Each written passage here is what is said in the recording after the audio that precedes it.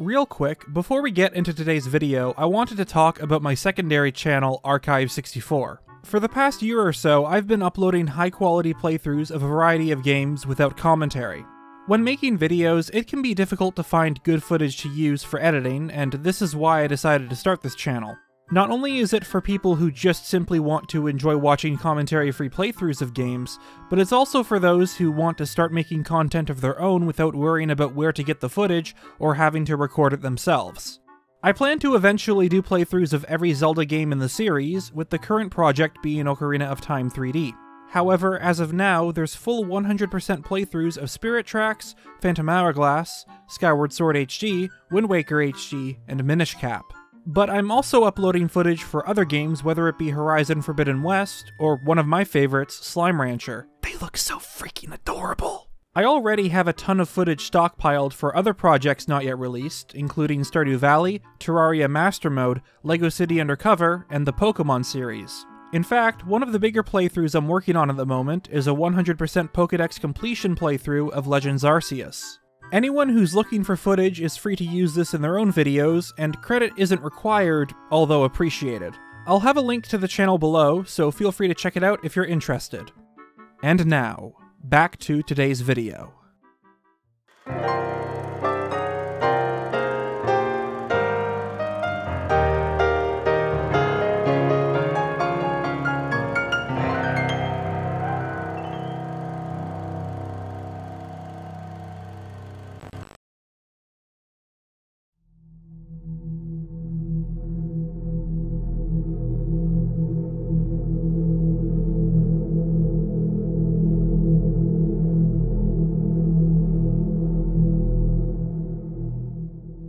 Often, we're only told a fraction of the overall narrative when it comes to games in the Zelda series. Key details are either lost to history with the passage of time, or rewritten by those who wish to conceal the truth. Whether it be the residents of Skyloft who remain blissfully ignorant of the surface below, or the events which led up to the Great Flood of Wind Waker. And who can forget the most recent installment into the franchise, The Legend of Zelda Breath of the Wild? While much is known about what transpired 100 years ago, the same can't be said for the events predating the creation of Sheikah technology used to defeat Calamity Ganon. In fact, one of the most discussed topics regarding its sequel is the mysterious tribe responsible for the numerous ruins scattered across Hyrule. A group which, according to legend, suddenly disappeared thousands of years ago. Were they simply forgotten due to the passage of time, or was their disappearance due to more sinister reasons? A tribe written out of the history books by those in power as an attempt to hide something or someone. Often it's said that history is written by the victors. We're only ever given a single perspective of events, regardless of how accurate it is. But the truth always has a way of rearing its ugly head. The more one tries to hide something, the more likely it is to come to light. Or in this case, shadow. Our investigation begins to the west of Hyrule Field, in a small quaint village at the foot of Death Mountain. Once home to the mysterious Sheikah tribe, this location now acts as a humble settlement opened up to the poor folk of Hyrule Kingdom. But looks can be deceiving. What appears to be an innocent village holds a dark secret. One that is considered to be a taboo subject among the royal family, Directly behind the village's graveyard is an elevated platform, seemingly cut off from the rest of the area. Inside the dimly lit tunnel, a central chamber with a sealed door. When this entrance was sealed is unknown, but one thing is clear visitors are clearly not welcome here. Eventually, this entrance would be opened by the Hero of Time, giving him access to the Seventh Temple, and with it, all the horrific secrets this place had to offer. The Shadow Temple consists of numerous chambers filled with traps and undead creatures, guillotines, moving saw blades, rotating statues equipped with deadly scythes, and falling platforms covered in spikes. It's no wonder that the royal family wiped this place from the kingdom's history. Knowing that such a place existed would be enough to make someone's stomach churn. Judging from the bloodstains and rooms built out of human remains, it's clear that many lost their lives here, with multiple jail cells throughout the dungeon and crypts left undisturbed for time immemorial. Perhaps this is why the Shadow Temple is filled with undead creatures.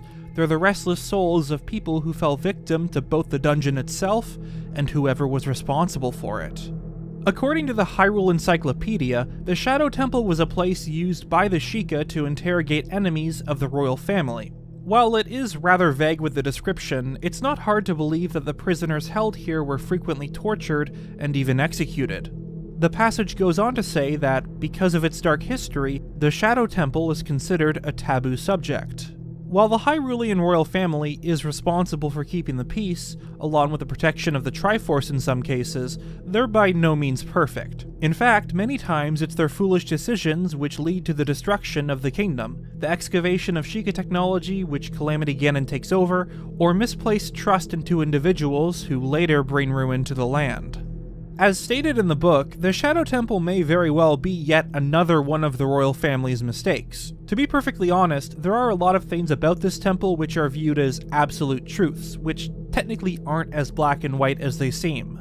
This video will cover a variety of popular theories regarding the Shadow Temple, as well as my own thoughts and ideas.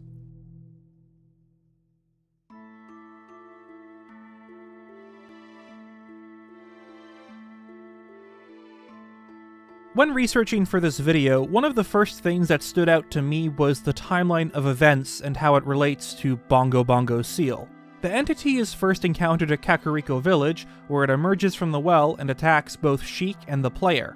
We're given more information about Bongo Bongo immediately after this encounter. As always, we'll be looking at the Japanese translations. Link, a very unusual thing has happened. The Dark Monster has resurrected. That dark monster was sealed at the bottom of the well by the power of Impa, the leader of Kakariko Village. But that monster's power grew too strong, and, with the well seal broken, it has now appeared above ground. Impa must have gone to the Temple of Darkness to face it and seal it once more, but as things are now, she's in danger. Given this information, we know that prior to this encounter with the Shadow Beast, Bongo Bongo was sealed deep beneath the well. This same location is visited by a young hero of time in search of the Lens of Truth, and acts as a sort of mini dungeon. However, when you think about it from a story perspective, it's rather odd that Link would find himself in an area which, according to the lore, is currently holding a powerful monster. If Bongo Bongo was sealed up prior to the hero's departure into the well, you'd think that there would be some signs of its presence, especially since entering this place could bring about some risks of potentially breaking the seal put on this entity. Remember that it was Impa who sealed the monster, someone who is present in both the past and future. If Bongo Bongo really was sealed then, you'd think that people would have been talking about it, and even warning the hero to stay far away from the well. Because of this, I believe that Bongo Bongo was sealed inside of the well sometime during the seven year gap that happens once Link obtains the Master Sword and opens up the Sacred Realm to Ganondorf. This also raises the question of where he was before his confinement within the well, and whether he even existed at this point, a topic I'll go into more later in this video. Now, this is the part where things get rather strange. As previously established, once Bongo Bongo broke free from beneath the well, Impa traveled to the Shadow Temple in an attempt to seal the creature. A seal which supposedly breaks in the cutscene before this dialogue, as we see the village on fire in the background, as well as a nearby structure being ripped from its foundation and hurled into the air, only for a dark shadow to emerge from the well and attack Link. So, what's the problem here? It comes from something said by an NPC in Impa's house. This house is Lady Impa's house. She headed out to the graveyard to seal a monster. Since monsters are running loose ever since Ganondorf showed up, the peace of this village is protected by Lady Impa. Speaking of which, Lady Impa hasn't come back yet. Did something happen to her? It's safe to assume that the events referenced here are the very same as the ones mentioned by Sheik. Both are describing the events following the resurrection of Bongo Bongo. The problem with this dialogue isn't what's said, but when it's said. The player can encounter this NPC as soon as visiting Kakariko Village for the first time as an adult, and yes, he says the same thing. Assuming that this isn't a mistake by the developers, it means that by the time Link awakens from his 7 year slumber, the seal on the well has already been broken. One thing which solidifies this idea is how the player doesn't encounter Impa until after completing the Shadow Temple, and when you think about it, this would be a pretty huge oversight on behalf of the game devs. It's definitely not a translation error, as the quote referenced comes directly from the Japanese version of the game. To me, this discovery is incredibly weird since I've always assumed that the seal on the well was broken in the cutscene. And it means that even after breaking said seal, Bongo Bongo chose to stay inside of the well for reasons? One possibility is that, similar to Skyward Sword, Bongo Bongo emerged from the well as a response to the sacred power of the Master Sword. In the former, the imprisoned breaks its seal right before Link is about to strike the deactivated Gate of Time with the Master Sword. It's a bit of a coincidence that Demise chooses to appear now, which Impa theorizes is a reaction to the blade's sacred power. So the same could be said with Bongo Bongo, except in this case the seal was already broken.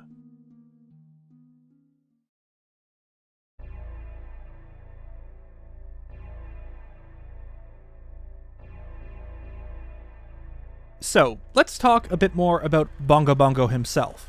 All we know about its origins is that it was, at some point, sealed in the well by Impa. Because there are a multitude of theories surrounding this topic, we're going to cover some of the more prominent ones, as well as my own thoughts on the matter. First, to answer the question of Bongo Bongo's whereabouts prior to the seal beneath the well. Regardless of how this entity came into being, I think it's safe to say that it was born in the Shadow Temple.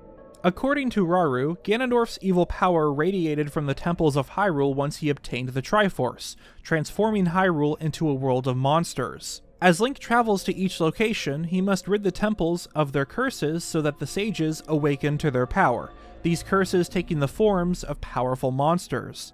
Something which makes sense as Ganondorf's power would have likely been greatest at the temples, since this quote suggests them to be the source of all monsters. Going off from this bit of information, the simplest explanation to give regarding Bongo Bongo's origins is that it was a demon created by Ganondorf after he broke into the Sacred Realm and got his hands on the Triforce of Power, with one of the biggest pieces of evidence supporting this theory coming from what we've already discussed regarding the Gerudo King and his evil powers. However, it's also worth noting that while Ganondorf's power is the reason these powerful beings plague the temples in the present day, their origins is a different matter altogether. The two best examples of this are the Spirit and Fire Temples. The former's boss was Twinrova, who, according to the lore, are Ganondorf's surrogate mothers, a pair of witches we see in both the past and future. And then there's Volvagia, said to be an ancient dragon which lived in the heart of Death Mountain. According to legend, it was defeated by a Goron wielding the Megaton Hammer. This creature is later revived by Ganondorf, acting as the boss of the Fire Temple so we know that this dragon existed long before Ganondorf's invasion of the Sacred Realm. Because of this, it's hard to say with definitive proof whether Bongo Bongo was created by Ganondorf or had already existed in the Shadow Temple prior to the Demon King's rise in power. And now, it's time to look deeper into that second possibility. Perhaps Bongo Bongo was once a deity, now corrupted by the dark powers of Ganondorf. In the past, we've had several dungeon bosses act as guardians of sacred locations, including Gohdan from Tower of the Gods and Mazaal from the Fortress of Winds. One can't help but notice the similarities between each boss, as many of these guardians tend to be ahead with disembodied hands. Now, admittedly, there isn't much evidence to this theory. However, in both the Shadow Temple and beneath the well are wall statues of a creature who almost looks like he's imprisoned in a pillory or guillotine. A lot of people have already pointed out how Bongo Bongo's appearance resembles a person who's had their hands and head cut off. Now, this whole theory depends on whether you consider Bongo Bongo's eye to be his actual head or not. It also is possible that this is the boss's true face, but I'm not entirely sure. But what's by far the most popular theory is that Bongo Bongo was once a villager residing in Kakariko Village, Shikashi tells us that long ago there was a man who had an eye that could see the truth. According to the old man, normally this is something you'd have to train your mind's eye strenuously to do, but this person had a different way of doing things, and that his house once stood where the well is now. It's very likely that this individual was the previous owner of the Lens of Truth. Whether he himself created it or stumbled across it is unknown, but there's an overwhelming amount of evidence to suggest that the two are connected. The Japanese version also refers to this item as the Lens of Truth, and translations of Shikashi's quote retain the phrasing of seeing or ascertaining the truth. Second is that this person's house once stood where the well is, and beneath the well is where a young hero of time finds the relic. The Lens of Truth is one of many Sheikah artifacts meant to give normal folk the power of the Sheikah, a third eye, if you will. Even the design itself resembles a Sheikah eye. This wording also suggests that the previous owner of the Lens of Truth wasn't a Sheikah, but I'm not entirely sure if this truly was the case. Remember that Kakariko Village used to be a Sheikah settlement, and was only recently opened up to the common folk. But on the other hand, a Sheikah wouldn't need this relic since its whole purpose is to give one the powers of the Sheikah. So perhaps this person really did create the Lens of Truth. But it's not impossible for this person to have been a Sheikah, since, after all, you'd probably need a Sheikah to craft this sort of item. On the other hand, Shikashi's statement also suggests that anyone can gain the powers of the Sheikah through strenuous training of the Mind's Eye. One of the guards stationed at Gerudo Valley tells Link of the two riddles of the desert. In order to cross the haunted wasteland, the player needs the Eye of Truth. As we later find out, this is referring to the Lens of Truth since it's needed to see the Phantom Guide. Either the Gerudo know of the Lens of Truth's existence, or this proves that anyone can train their mind's eye to see the unseen. After all, how else could they have gotten through the desert? Actually, this leads into another interesting idea that I just thought of. Perhaps the Phantom Guide was actually a Sheikah who could guide the Gerudo, and maybe the Gerudo like threatened the, the, the person and they killed him after they got through the desert. Would explain whether the Phantom Guide helps the hero. I don't know. Just random thing to think of. On another note, it's interesting to think that this item could have instead been the Mask of Truth. I will admit that it's way more likely to be the former since it's found beneath the well, which was once the same location as the man's house, but the mask is said to have been passed down by the Sheikah, has an eye on the front of it, and the powers to see into people's hearts and minds. In a way, it lets the user see the truth. With that said, while the localization does refer to it as the Mask of Truth, translations from the Japanese version use the phrasing a Mask of Truth, which implies that more than one of this item exists. Another reason why Shikashi is likely referring to the Lens of Truth here. so, why do people believe that this man is the shadow fought at the temple? I think it mostly comes down to the fact that the Lens of Truth plays a huge factor in navigating the temple and its boss fight. There's also the detail about the man's house being where the well now stands, a place which acted as a sealing grounds for Bongo Bongo, and that's about it. The rest of this theory usually leads into a what if scenario. Like, perhaps this Sheikah wronged the others and it led to his execution, but that's the overall gist of it.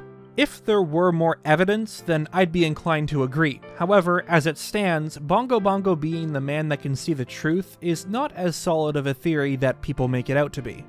Personally speaking, I believe that the Shadow Monster's origins are way more connected to the Shadow Temple itself rather than Kakariko Village. If this place was used to torture and execute enemies of the royal family, as stated by Hyrule Encyclopedia, perhaps Bongo Bongo is an accumulation of poor souls who lost their lives at the hands of the Sheikah, or to be more specific, the ones who were pulling the strings behind the scenes, the royal family of Hyrule. Even if we don't consider what's written in this book, the Shadow Temple is filled with blood splatter, jail cells, and equipment meant for execution and torture. Plus, you know, the hundreds of dead bodies throughout the dungeon. One of the key details to remember here is that anyone deemed an enemy in the eyes of the royal family would be punished, regardless of their actual crimes. Even someone who's simply vocal about their doubt or dislike of Hyrule's monarchy would be an easy target, especially since the servants of the royal family are the Sheikah, a race known for their ninja like skills. In fact, it's entirely plausible that this would have occurred during the Hyrulean Civil War, the same war we're told about by the Deku Tree Sprout. However, there's nothing in the game that suggests that this has to be that same war. The events taking place within the Shadow Temple may have been during a completely different war altogether. Now, we already know that the Zelda series takes much inspiration from Japanese folklore and culture, one of the best examples being the substance known as malice, Malice quite literally being another word for hatred. Those who die with intense feelings of hatred or anger reanimate after death, such as Skyward Sword's Cursed Bokoblin. Another recurring enemy in the series is the Poe, who, according to the Poe Collector, are spirits of concentrated hatred, very similar to the Yurei of Japanese folklore. Yurei are born from those who pass away through sudden or violent means, if the proper rites haven't been performed, or if they are influenced by powerful emotions, desire for revenge, sorrow, and yes, even hatred. Most of the monsters we see in the Shadow Temple are undead creatures, ones which have seemingly come back from the dead. Redeads, Gibdos, Stalfos, and who can forget the infamous Dead Hand? If these unrest souls were to accumulate, it could very well be the origin story of Bongo Bongo himself. Perhaps even explain why he went after Kakariko Village after escaping his seal. There's a sort of poetic justice to it, since the brutal actions taken by the royal family and their followers would have come back to haunt them, quite literally.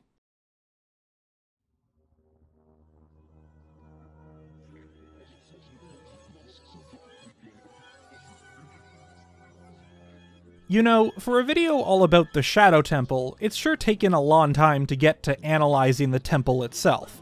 Well, I suppose that's only half true. We have been talking about it throughout this video, though up until now, the central focus has been on Bongo Bongo.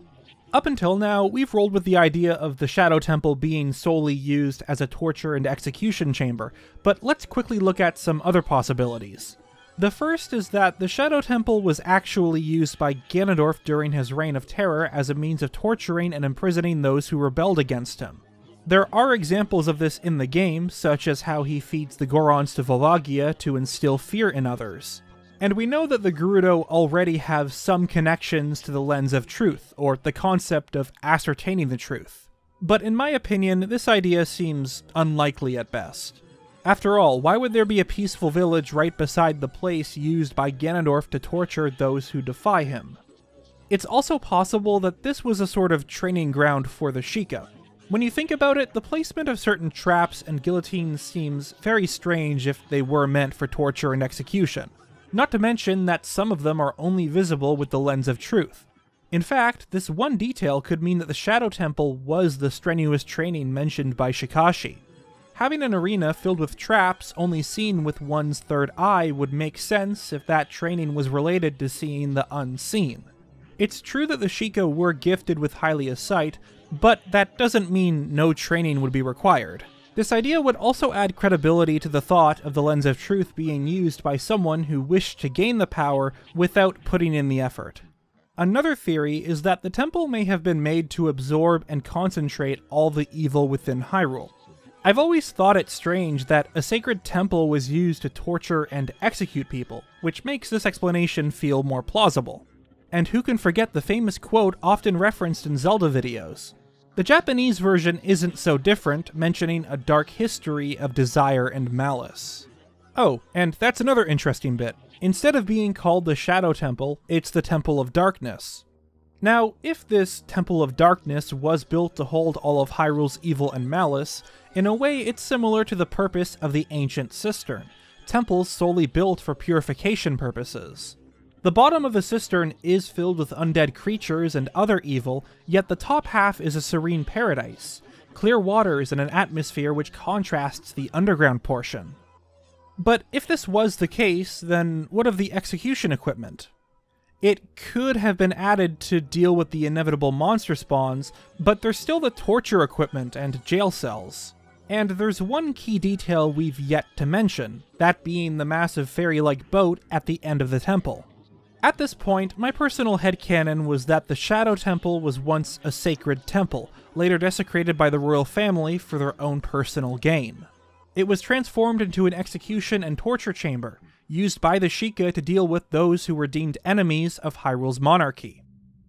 But there's one bit of evidence which felt out of place, found at the Forest Temple. In the corridor, just before the boss chamber, are several paintings. I remember coming across these when working on my Phantom Ganon theory, and at the time I didn't know what they were supposed to be of. But thanks to the user Nanoctero, we may know the answer to two of them. One is of the Temple of Time and its image being reflected in the water, and then there's this one. It's hard to make out at first, but once you see that long streak of red down the middle, it becomes more obvious. It's likely that this is a painting of the ferry within the Shadow Temple, more specifically, the figure carved into the front of it. If this place wasn't always used as an execution chamber, why would a picture of this boat be found within the Forest Temple? It would mean that this ferry was around at the time of that temple's creation, and obviously this boat is meant to be connected to death. Perhaps this means that the Shadow Temple's original purpose was to send off the departed souls of the royal family. It makes sense since this dungeon does have ties to the Sheikah, who we know are servants of the royal family, and their village is close by. The golden bracelets around the arms are also reminiscent of the ones worn by Breath of the Wild Sheikah monks, who also have a mummified sort of appearance. Once again, though, there's a problem. A massive problem. Both the Forest Temple's paintings and ferry design are exclusive to the 3DS version. In the original game, these paintings aren't present, and the design of the ferry in the Shadow Temple is completely different, instead being of the same figure seen throughout the temple. The reason this is an issue is because whether details from the 3DS version can truly be viewed as canon or not is unknown. But I never said that that was all the evidence there is. In fact, that evidence is the evidence exclusive to the 3DS version because on the deck of the ferry, in both the 3DS and N64 version, is a Triforce crest. One of many locations where the hero must play Zelda's lullaby, a song passed down by the royal family.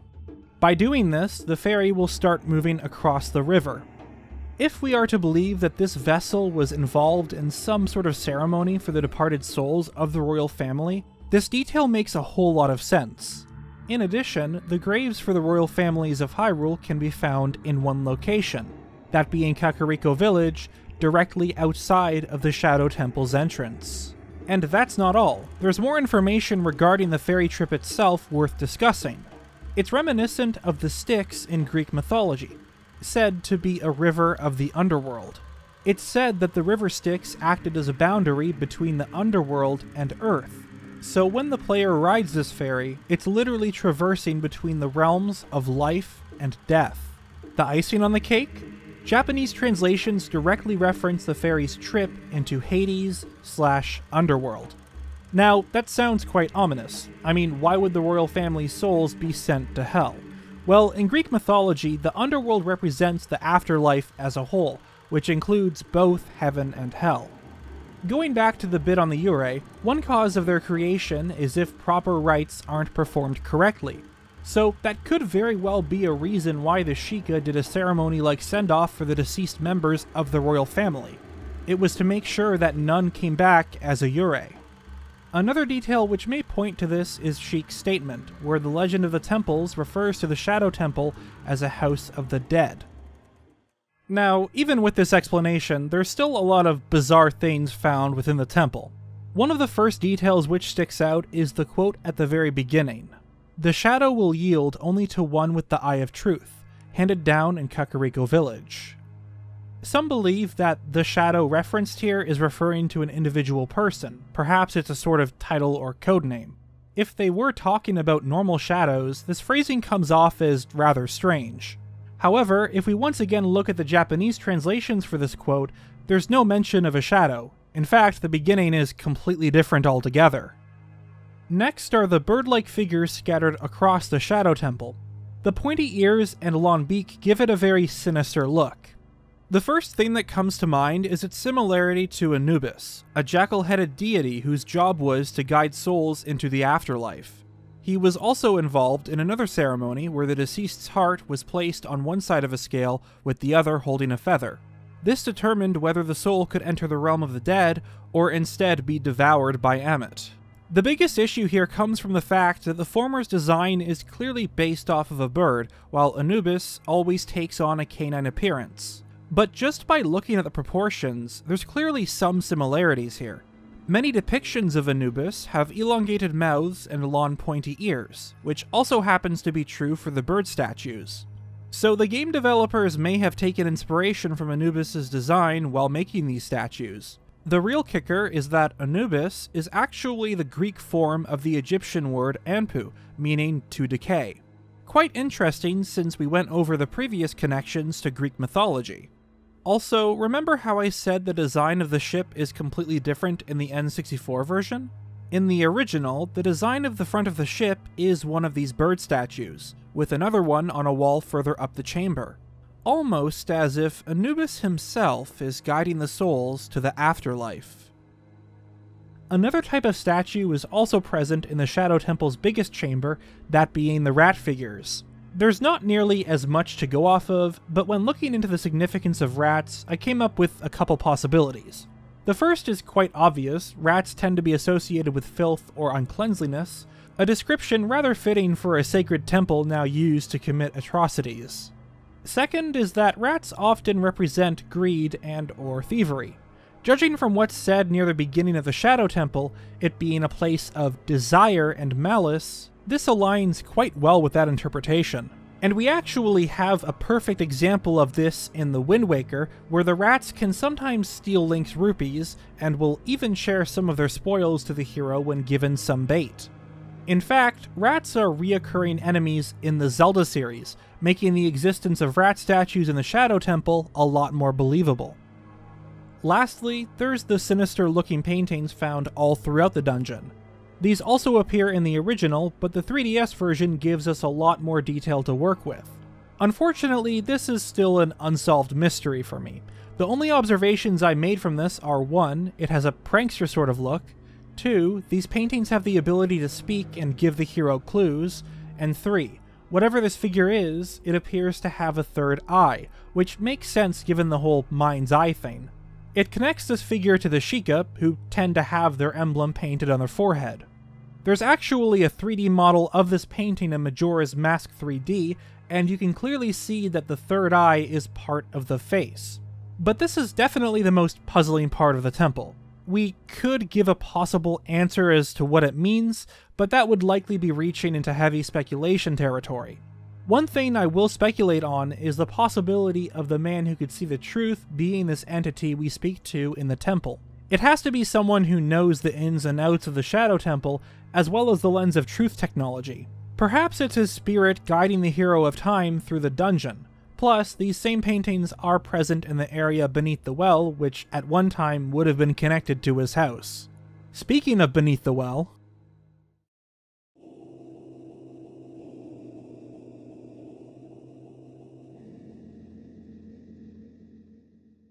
I can't believe it's taken this long to get to the bit about the area beneath the well. Just how long is this video going to be? Half an hour?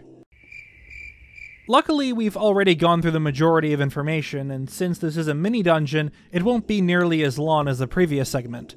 But there are some very interesting things to talk about regarding this place.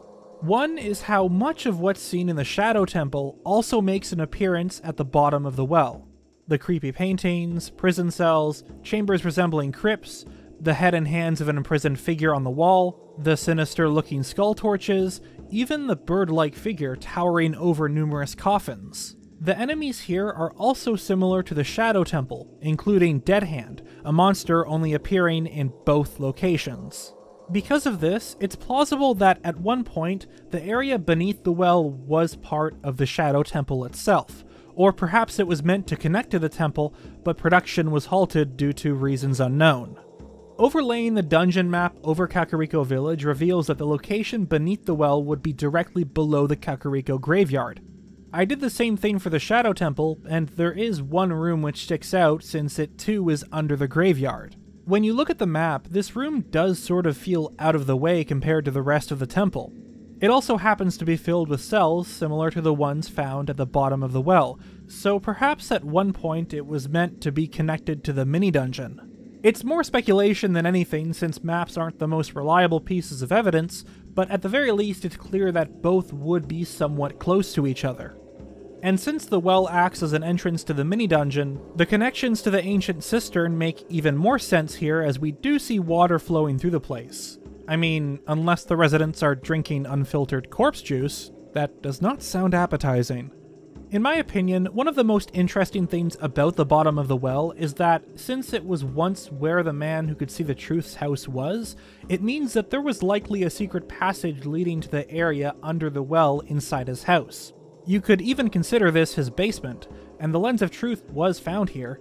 If this place was meant to be an extension to the Shadow Temple, maybe it was built to give the Sheikah a more subtle way of entering the place to quote unquote deal with the royal family's enemies. It's a lot less suspicious than dragging a person to the back of the graveyard and vanishing without a trace.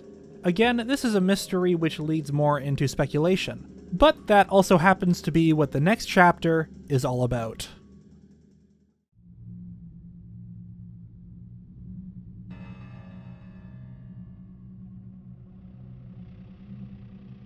So, to recap, I believe that the Shadow Temple was once used by the Sheikah to send off the souls of the royal family into the afterlife. This sacred place was later desecrated by the royal family and used to execute and torture their enemies, something that may have happened during the Hyrulean Civil War. Eventually, this temple was abandoned and sealed off, while over time, the unrest souls came back in the form of Yurei as a means of revenge. This also led to the creation of Bongo Bongo, an accumulation of hatred and malice which would eventually break out during Ganondorf's reign, be sealed once again in the well, then break out once more and flee back to the Shadow Temple, only to be defeated by the Hero of Time. Now, to finish off this video with stuff that's a bit more speculative. First, what is the real story with the man who could see the truth and the lens of truth? Well, I think a simple answer to that is that the Lens of Truth was made for quote unquote emergency purposes. Remember that it's only the Sheikah who are gifted with the sight of Goddess Hylia and see the unseen. Adding invisible platforms and hazards to the Shadow Temple was just a way to keep outsiders away, especially if this place was once used for rites and ceremonies. If something bad were to happen and no Sheikah were present, it could let anyone see these traps and navigate the dungeon. Even if that's not the case, members of the royal family would certainly need this item, as we've already established their involvement with the Shadow Temple. It might be a Sheikah themed dungeon, but it's important to remember that the Sheikah served the royal family. Of course, this is only one of many explanations. It could have been made to gain the powers of the Sheikah without putting in the effort or strenuously training the mind's eye, but that depends on your perspective of the situation. Regarding the sealing of the Shadow Temple, it may have been done to protect the royal family's reputation, or because they sensed the increase of malice in Bongo Bongo, or maybe even a bit of both. I find it fascinating how there's a ritual like circle at the entrance of the temple, which also requires the use of magic to open. It almost feels like it was put there not to necessarily keep the door shut, but also act as a literal seal on the temple, preventing Bongo Bongo's escape. In fact, there are translations for the Hylian script on the magic circle which says, pray here and use the medallion.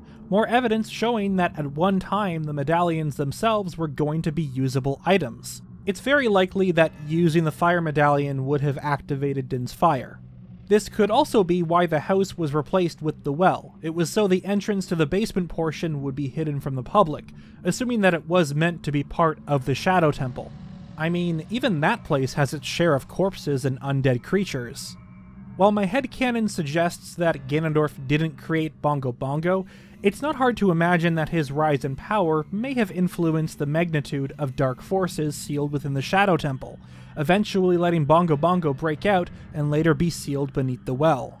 There's one more idea I have, and I've purposely left it until the end of the video because it feels more like speculation. Under the well, at the bottommost layer, is a green substance. It's never explained what this is, but the same liquid is found in the boss chamber of the Shadow Temple. And this liquid flows outward from Bongo Bongo's boss platform. What if he's the source of this substance? Perhaps it's what allows the dead to come back to life. In fact, you can see a bunch of hands rising from the surface of the pool of liquid beneath the well. It sort of makes me think of the hands in the Dead Hand battles. Perhaps these corpses are slowly coming back to life thanks to this green liquid.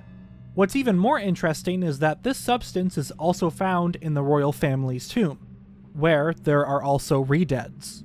Perhaps this fluid has been slowly flowing out of the Shadow Temple into places such as the bottom of the well and royal family's tomb, leading to the rise of the undead.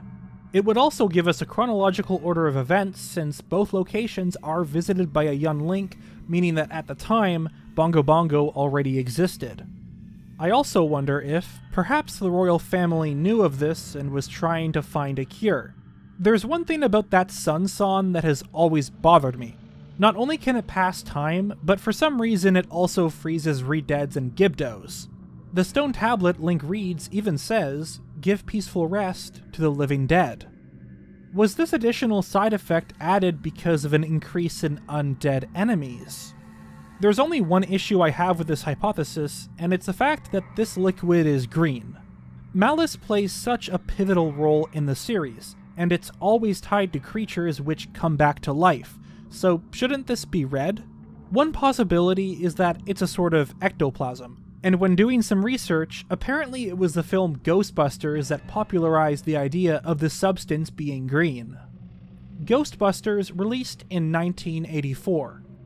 The Legend of Zelda Ocarina of Time released in 1998. And with that, this brings us to the end of the video. I'm gonna be real for a second, this is one of my new favorite theories. What started out as a simple question of why Young Link was even allowed in the well evolved into one of the most complex and thorough projects of mine.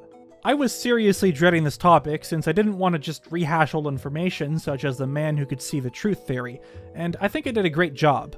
I do want to thank Link, Lorulean Historian, and Chateau LonLon since they either provided me with translations, interesting evidence, and or let me bounce some ideas off of them which led to some very interesting discussions.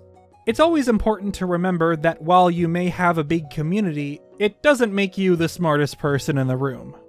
I do appreciate their contribution to these topics, especially the ones that aren't about Breath of the Wild. I've been Nintendo Black Crisis, and I'll see you all next time.